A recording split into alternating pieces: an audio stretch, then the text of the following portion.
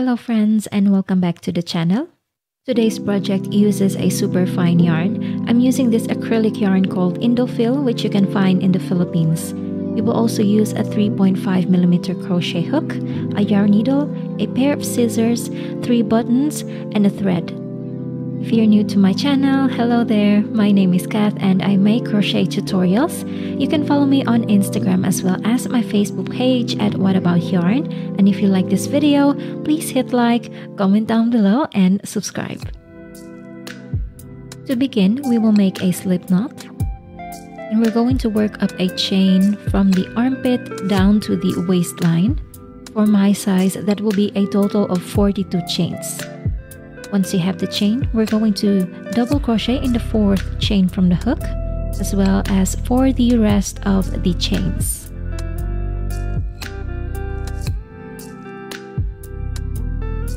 End of row 1, you will start row 2 with a chain of 3 and turn your work. Now for this row, we're going to skip the next stitch and work a double crochet in the next stitch.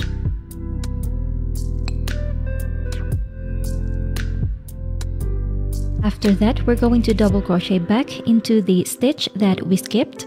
So yarn over and insert the hook into the stitch that we skipped. Grab the yarn and pull up a loop. We have three loops on the hook. Yarn over and pull through two loops and yarn over and pull through the last two loops on the hook. And that is a cross double crochet stitch. And we're going to repeat that same stitch again. So skip the next stitch and double crochet in the next stitch and again work a double crochet back into the stitch that we skipped.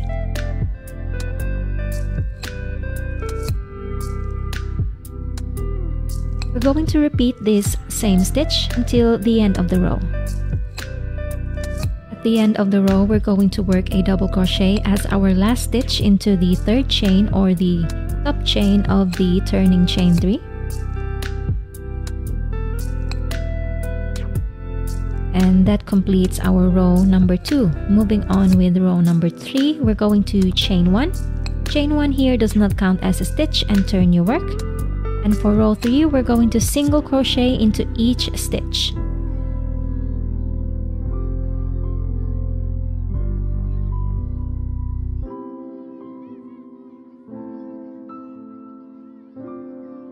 Here I just finished row number 3 after this, we're going to repeat row number 2 and row number 3 until our panel will completely wrap around our chest.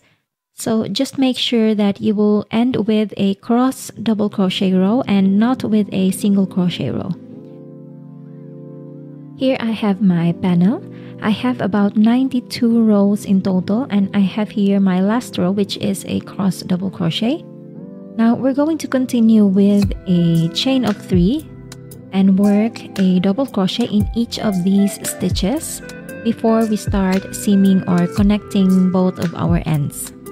So chain three, double crochet into each stitch.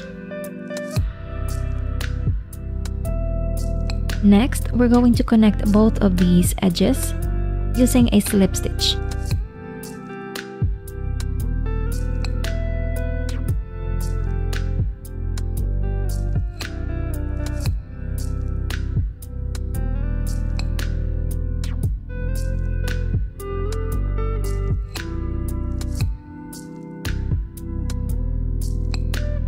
Fasten off and cut the yarn.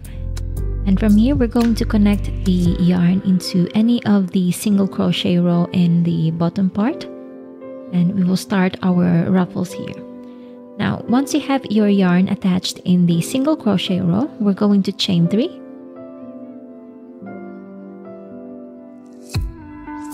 Chain 3 here will count as one stitch or one double crochet.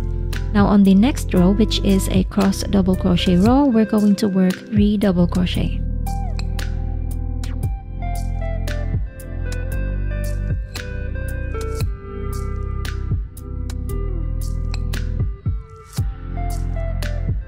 Next, work 1 double crochet in the single crochet row.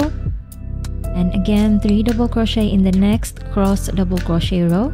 And this will be the sequence that we will repeat all the way around the bottom part of our top. When you get to the double crochet row here, you're going to work 3 double crochet as well.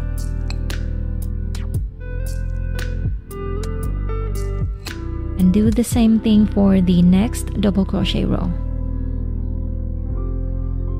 After this, you will continue with the sequence and once you get to the end of the row, we're going to slip stitch in the third chain of the beginning chain 3. Now do not turn your work. We will continue with round or row number 2 with a chain of 3. Chain 3 here will count as 1 stitch. And we have here our 3 double crochet stitches.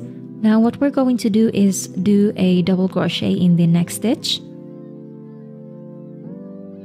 And on the middle stitch, we will do an increase. So every time we will work our stitches in the middle stitch of the three double crochets, we will be placing an increase there. So starting with this one, we will do two double crochet instead of one. And this will be our increasing stitch. So one and two. So, and on the next stitch, on the third stitch, third double crochet, we will just do one double crochet. Work one double crochet as well in the next stitch, the stitch where our single crochet row is. Again, another double crochet in the first stitch of the three double crochet. We're now here in the middle stitch, so we will do an increase. So just remember to place one double crochet in each stitch except for the middle stitches. On the middle stitches, you will be working two double crochet increase. So keep on working this sequence until you get to the end of the round. At the end of the round, we will slip stitch in the third chain of the beginning chain 3 and do not turn your work. Continue with round number 3 starting with a chain of 3 Chain 3 will count as one stitch and work one double crochet in the next stitch.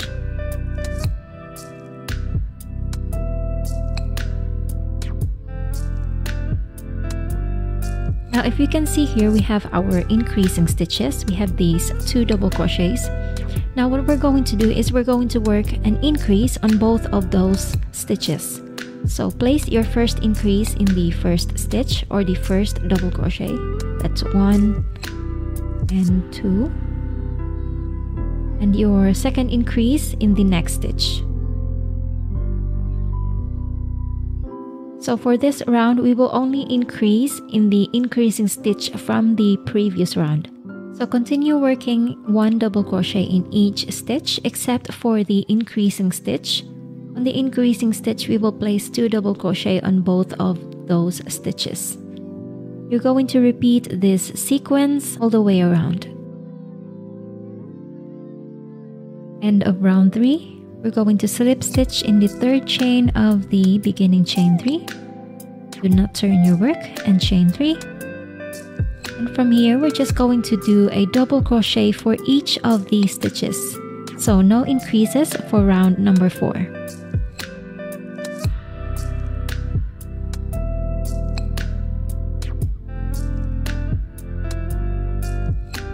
The end of round number 4, we're going to slip stitch in the third chain of the beginning chain 3 and we're going to repeat again round number 4 until you have a total of 6 rounds or until the length that you prefer. Now with the front of the project facing you, we're going to attach the yarn into any of the single crochet row in the upper right corner of our top. This will be our strap and from here we will work our sleeves. Now you're going to work a chain that will go all the way over the shoulders and towards the back of the top and later we're going to connect this at the other side of our work. For my size, that will be a total of 58 chains. Without twisting the chains, we're going to slip stitch in the single crochet row at the back of our work and turn your work. from here, we're going to start our sleeves, starting with the lower part of our armhole. we're going to work our stitches all the way around and we will connect that on our first stitch. So begin with working two single crochet into the cross double crochet row one single crochet in the single crochet row and repeat that for the rest. You will work as well one single crochet in each chain and when you get to the end of this round we will slip stitch into the first single crochet and again do not turn your work. Continue in round number 2 starting with a chain of 3 and we will do one double crochet into each stitch all the way around.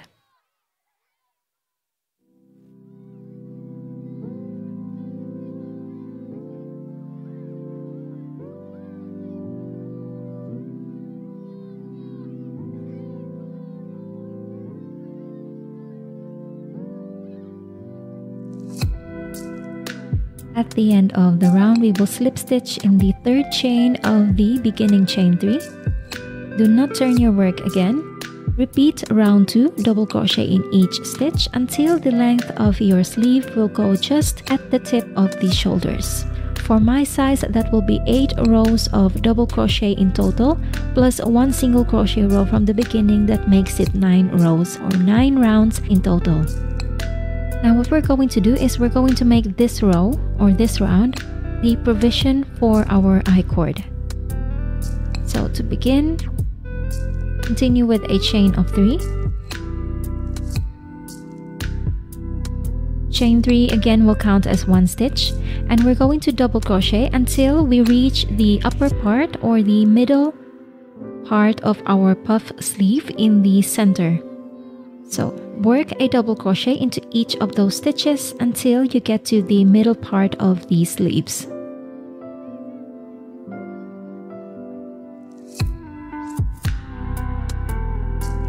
Here I just finished this part. I'm now at the upper part at the middle of my sleeve.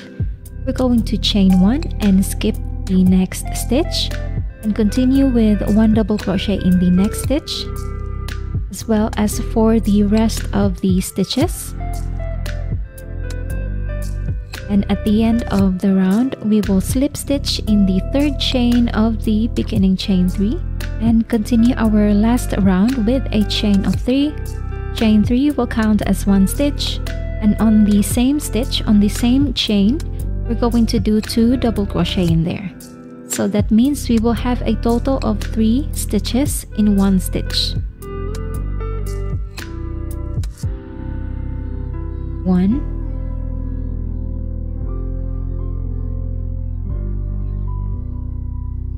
And two double crochet. Now continue working three double crochet in each stitch all the way around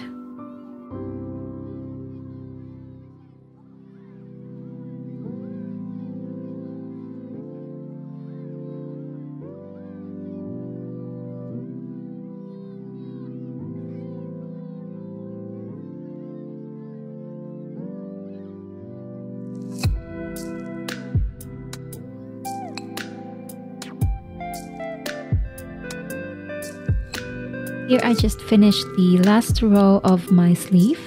We're going to slip stitch in the third chain of the beginning chain 3, fasten off and cut the yarn. And I'm going to show you how you're going to do the I-cord for this part. Now to make the I-cord, we're going to take our yarn and fold that in half. So make sure that you take enough for this or the size that you will be making. Now we're going to do a slip stitch and insert the hook into the loop. Now from here we're going to divide our strands. One is for the upper part and the other one is for the bottom part. Now wrap the bottom part into the hook and hold that in place. And yarn over and pull through those loops that are in your hook and that will create our base for the I-cord. Again, repeat the same thing. Wrap the yarn and pull up a loop. Again, wrap the bottom yarn into the hook. Wrap the yarn and pull up a loop. And you're going to keep on repeating this process until the length of your I-cord is enough for your size. For my size, that will be 7 inches. Next, we're going to cut the yarn and secure this. Just going to create a knot right here. Cut out the excess. And we're going to place this starting at the top of our sleeves the part where our chain 1 space is located and create a knot in there. You're just going to place this, the remaining of the cord all around the revision that we created earlier.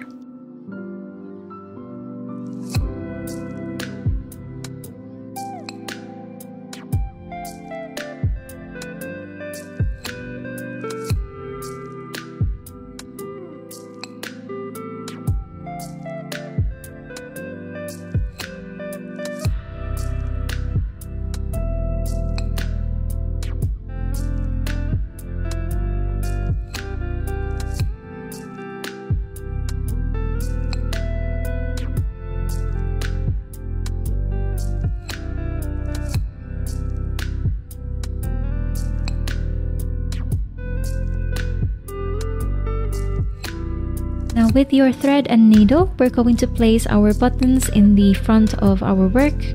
And when I say front, that is the seam that we did earlier for our panel.